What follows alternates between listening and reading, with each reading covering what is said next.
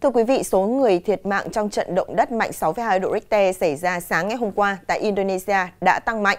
Ít nhất 67 người đã thiệt mạng và hơn 800 người bị thương trong thảm họa này.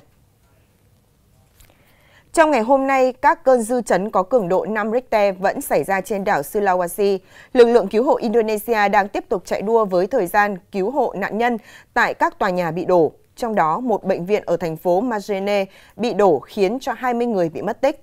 Tuy nhiên, thời tiết không thuận lợi có thể khiến cho việc cứu hộ gặp trở ngại. Cơ quan địa chất Indonesia ngày hôm nay cũng đưa ra cảnh báo về khả năng khu vực này tiếp tục xảy ra động đất mạnh cường độ lên tới 7 độ Richter, yêu cầu người dân tránh xa các khu vực bờ biển. Indonesia hiện đang phải đối mặt với thảm họa kép. Tại tỉnh Nam Kalimantan, Indonesia, lũ lụt cũng đã nhấn chìm hơn 6.300 căn nhà và ảnh hưởng đến 22.000 người dân. Trong vài ngày qua, lực lượng ờ, lượng mưa đã liên tục tăng khiến cho nhiều nơi ngập sâu đến 3 mét. Tổng thống Indonesia đã phải điều quân đội và cảnh sát đến để hỗ trợ người dân ở vùng lũ. Thưa quý vị là đêm 14 dạng sáng ngày 15 tháng 1, tàu cá mang số hiệu QNG 90869TS công suất 820 mã lực của ngư dân Võ Bá Nha ở xã Bình Châu, huyện Bình Sơn của tỉnh Quảng Ngãi bỗng dưng bốc cháy dữ dội và thiệt hại lên tới cả tỷ đồng.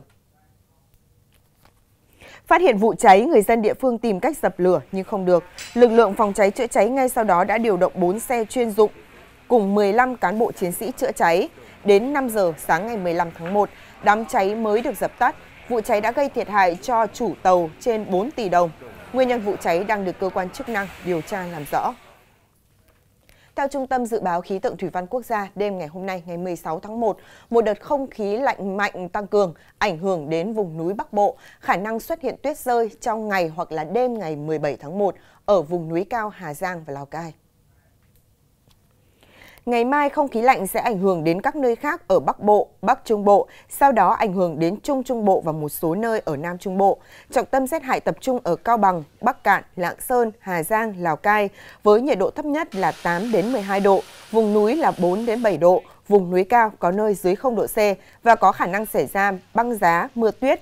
Đợt không khí lạnh lần này không mạnh bằng đợt lạnh từ ngày mùng 7 tới ngày 11 tháng 1. Thời gian đợt lạnh cũng ngắn hơn chỉ từ 3 ngày từ ngày 17 đến ngày 19 tháng 1. Dự báo trong tháng 2 sắp tới, các tỉnh miền Bắc sẽ còn xuất hiện thêm khoảng 8 đến 10 ngày rét đậm nữa. Cũng theo dự báo thì tháng 1 này sẽ lạnh hơn cùng kỳ năm trước từ 0,5 cho đến 1 độ C. Vì vậy là việc chủ động phòng chống rét ở dịch bệnh trên vật nuôi trong vụ đông xuân năm 2020-2021 cũng cần được đặc biệt chú trọng. Ghi nhận của phóng viên nông nghiệp 24 giờ tại tỉnh Sơn La. Nhà có 3 con lợn nái, 12 con lợn con và 30 con gà vịt các loại. Bà Sa Thị Hân ở huyện Vân Hồ đang rất lo lắng khi nhiệt độ những ngày này liên tục xuống thấp dưới 10 độ C. Đợt rét hại vừa qua, nhờ chủ động che chắn chuồng trại và tăng cường sưởi ấm, đàn vật nuôi nhà bà không bị thiệt hại con nào. Đầu tháng 11 ý, tôi bắt đầu chuẩn bị rơm dạ rồi là uh, phòng chống rét cho lợn như là tiêm phòng này rồi là che bạt để giữ ấm cho lợn thì ờ, ờ, và cho ăn đầy đủ đây cũng là cách mà bà con nông dân huyện Vân Hồ, tỉnh Sơn La đã làm để bảo vệ đàn trâu, bò, gà vịt của mình thời gian qua. Ngoài chống rét, các hộ còn chuẩn bị các loại thức ăn tinh bột để bổ sung vào khẩu phần ăn nhằm tăng sức đề kháng cho vật nuôi. Mùa đông đến mùa đông về tôi chỉ có tích uh, ờ, dơm này uh, hoặc là những sắn này xong là ủ uh, dơm để cho dê cho bò những cái lúc mà không có uh, cỏ để cho dê cho bò nó ăn. Tập trung cao cho cái việc mà hướng dẫn cho bà con nhân dân về cái cách phòng tránh rồi là hướng dẫn về cái che chắn uh, cho châu bò vào những cái đợt rét đậm rét hại đặc biệt là cái dự trữ thức ăn cho gia súc người dân cũng đã nắm rõ về các cái, uh, cái công tác tuyên truyền của huyện và cũng đã làm rất tốt cái công tác uh, phòng tránh uh, đói rét cho châu bò. Trước kia châu bò chủ yếu được nuôi để lấy sức kéo, thì nay đã trở thành sản phẩm hàng hóa, sinh kế thoát nghèo nên bà con rất chú trọng chăm sóc, bảo vệ vật nuôi, nhất là khi thời điểm xuất bán cho thị trường Tết Nguyên đán đang tới rất gần. Những tin tức mới nhất về thời tiết và những khuyến cáo của ngành chuyên môn nhằm giúp cho bà con ứng phó với rét đậm rét hại trong những ngày tới sẽ được chúng tôi cập nhật trong phần cuối bản tin chỉ ít phút nữa. Kính mời quý vị khán giả đón xem. Còn bây giờ thì bản tin xin được tiếp tục với những tin tức đáng chú ý khác.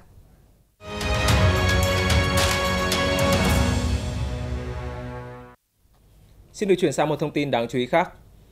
Thưa quý vị, tính đến hôm nay thì số ca tử vong do COVID-19 trên toàn cầu đã vượt mốc 2 triệu ca, trong tổng số hơn 94 triệu ca mắc. Thế giới tiến đến mốc đáng buồn này chỉ hơn một năm sau khi ca bệnh đầu tiên được ghi nhận tại thành phố Vũ Hán của Trung Quốc. Và Mỹ tiếp tục là nước bị ảnh hưởng nặng nề nhất bởi đại dịch COVID-19, với trên 24 triệu ca mắc và hơn 400.000 trường hợp tử vong. Trong ngày hôm nay, Mỹ đã ghi nhận đến hơn 181.000 ca mắc mới. Châu Âu hiện đã ghi nhận tổng cộng hơn 30 triệu ca nhiễm COVID-19. Đây cũng là khu vực chịu ảnh hưởng nặng nhất của dịch bệnh trên thế giới. Biến thể mới của virus SARS-CoV-2 tại Anh đã lây lan nhanh chóng trên khắp châu lục, khiến tình hình khó kiểm soát. Trước diễn biến phức tạp của dịch bệnh này, ngày 15 tháng 1, Pháp cho biết sẽ cấm nhập cảnh đối với những người từ các nước không thuộc Liên minh châu Âu, dù có kết quả xét nghiệm nhanh COVID-19 là âm tính. Quy định mới này sẽ có hiệu lực từ ngày 18 tháng 1. Trong cuộc họp của Ủy ban khẩn cấp WHO ngày hôm qua, Tổ chức Y tế Thế giới kêu gọi giới chuyên gia tăng cường các nghiên cứu về virus trên quy mô toàn cầu nhằm ngăn chặn các biến thể của virus SARS-CoV-2 hoành hành khắp thế giới. Thưa quý vị khán giả, trong hai ngày qua đã có khoảng 1 triệu người Ấn Độ hành hương đến tới bờ sông Hằng dự lễ hội Kumela để tắm rửa với niềm tin rằng dòng nước thiêng sẽ rửa sạch tội lỗi của họ. Dù chính quyền đã có những quy định về giãn cách và đeo khẩu trang cho người dân khi đến lễ hội, nhưng rất nhiều người thì vẫn bất chấp quy định. Do đó, Ấn Độ đang đối mặt nguy cơ gia tăng mạnh số ca mắc COVID-19 sau lễ hội. Người hành hương trên khắp Ấn Độ đang đổ về sông Hằng, bất chấp lạnh giá. Những tín đồ đạo Hindu này vẫn ngâm mình dưới dòng nước thiêng với hy vọng gột rửa đi mọi tội lỗi. Gần như chẳng còn ai nhớ tới việc phải đeo khẩu trang và tuân thủ giãn cách theo quy định của nhà chức trách. Dịch COVID-19 vẫn đang lan rộng tại Ấn Độ. Nước này đã ghi nhận hơn 10,5 triệu ca nhiễm hơn 150.000 ca tử vong, cao thứ hai thế giới chỉ sau Mỹ. Hôm nay, Ấn Độ chính thức bắt đầu chiến dịch tiêm chủng vaccine COVID-19 cho người dân. Trong đó, giai đoạn 1 của chiến dịch bắt đầu từ sáng 16 tháng 1 trên toàn quốc, với mục tiêu tiêm chủng cho 300 triệu người vào đầu tháng 9. Dẫu vậy, một số người hành hương lại bác bỏ lo ngại về mối đe dọa từ COVID-19. Đây là truyền thống mọi người đều háo hức chờ đến lễ hội để được tắm. Vâng, dù là có đại dịch đi nữa, mọi người vẫn sẽ giữ truyền thống này chứ. Thần linh sẽ che chở cho những sợ hãi này. Con người làm việc của mình, còn thần linh sẽ làm việc của thần. Ấn Độ cũng đã huy động hàng nghìn cảnh sát đến bờ sông Hằng để phạt tiền người hành hương nếu vi phạm quy định phòng chống dịch COVID-19. Thưa quý vị, còn tại Việt Nam, tiếp tục những ngày bình yên quý giá, không xuất hiện ca COVID-19 mới trong cộng đồng. Tuy nhiên, nguy cơ lây lan dịch do người nhập cảnh trái phép vào nội địa thì vẫn luôn rình rập. Đồn biên phòng cửa khẩu quốc tế Bờ Y, tỉnh Con Tum cho biết vừa phát hiện bắt giữ 6 người nhập cảnh trái phép từ Lào vào Việt Nam và đã đưa đi cách ly phòng chống dịch. 6 người nhập cảnh trái phép đã bị lực lượng biên phòng tuần tra phát hiện và bắt giữ tại khu vực mốc 792, cửa khẩu quốc tế Bờ Y, tỉnh Con Tum, khi đang tìm cách vượt biên từ Lào vào Việt Nam. Cả 6 người này đều trú tại huyện Diễn Châu, tỉnh Nghệ An. Ngay sau đó thì biên phòng cửa khẩu quốc tế Bờ Y đã đưa cả 6 người về khu cách ly theo quy định. Biên phòng Con Tum hiện đang duy trì 61 tổ chốt biên phòng trên dọc tuyến biên giới để chặn người nhập cảnh trái phép, ngăn ngừa nguy cơ dịch lây lan vào nội địa.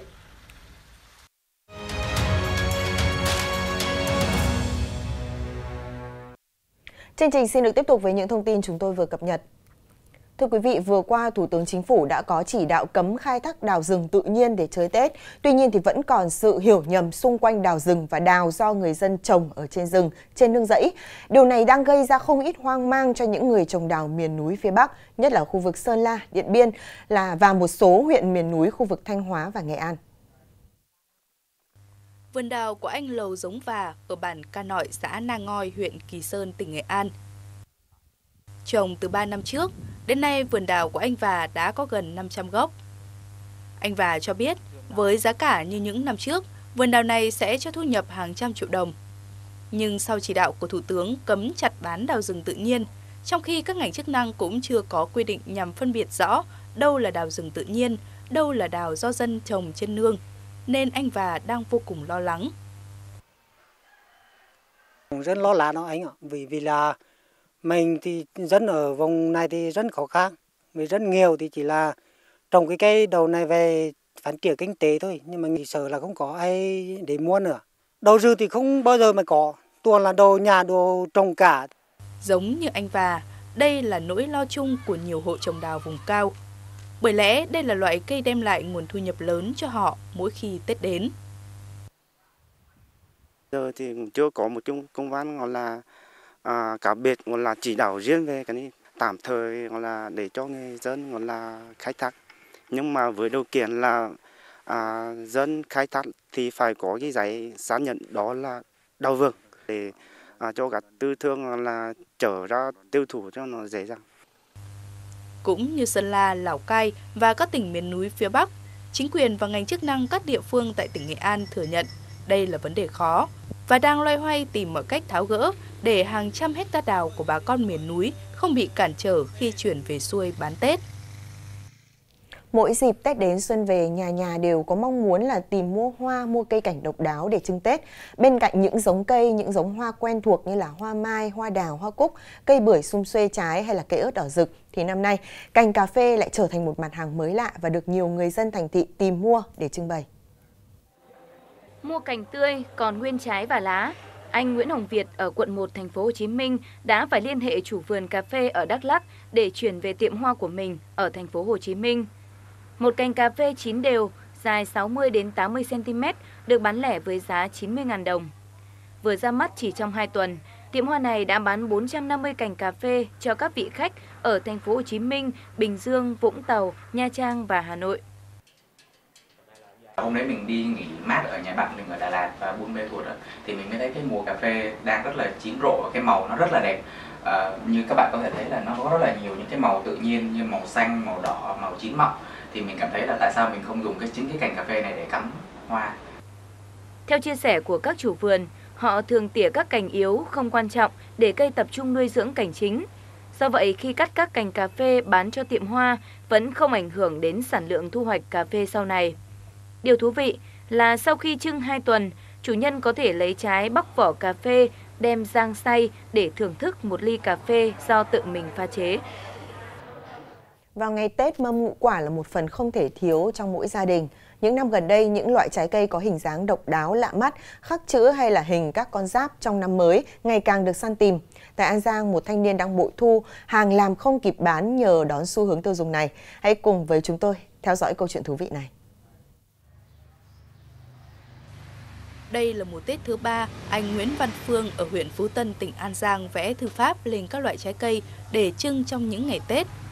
Anh Phương cho biết mỗi loại trái cây đều có cách vẽ khác nhau, nhưng để vẽ được chữ thư pháp đẹp, đòi hỏi người vẽ phải tập trung cao độ và thật tỉ mỉ cùng với năng khiếu. Tùy theo đặc điểm của loại trái cây mà anh sẽ căn ngày vẽ nhằm đảm bảo thời gian bảo quản, khách có thể trưng và ăn khi quả còn tươi ngon. Đối với trái dừa đó thì mình phải sơn nó. Còn vẽ thì nó cái mặt dừa nó bóng lắm vẽ dễ. Còn dưa lưới thì mình phải cần sơn nhưng mà cái cái mặt lưới của trái dưa đó nó khó vẽ nó khó ăn màu. Do đó mình pha thêm một số kỹ thuật cơ bản trong cái màu đó. Mình vẽ nó mới dính lên được trái dưa lưới. Theo anh Phương, hàng năm bắt đầu từ ngày 23 tháng Chạp là vào giai đoạn cao điểm khách đặt mua. Giá bán và số lượng khách mua cũng tăng dần theo từng năm một cặp dưa lưới vàng khoảng 3 kg là giá của nó gần 200 ngàn. Còn dừa thì 100 ngàn. Bưởi thì 150 ngàn cặp khoảng 3 kg ví dụ như tùy theo khách hàng đặt uh, cho những người kinh doanh á, thì họ thường hết chữ ờ, phát tài hoặc là thuận lợi. Còn tặng cho gia đình ông bà thì giống người ta đặt chữ phúc chữ thọ.